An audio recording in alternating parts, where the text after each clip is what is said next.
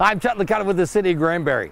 If you're a Granbury resident who wants to personally get involved with the direction of the city, there's a big opportunity coming up Thursday, April 18th, right here at City Hall.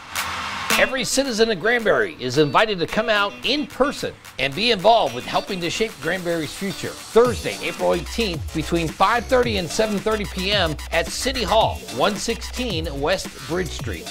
Residents have direct access to giving input to the projected growth of Granbury. Citizens will be asked questions like which goals the city has set in the comprehensive plan are important, are relevant, What's missing from those goals? What should the Granbury of the future look like? Even our city dog Blue wants to go to the meeting on the 18th, but obviously she can't. Still, I just keep feeding her treats to pacify her. Here you go. Here you go.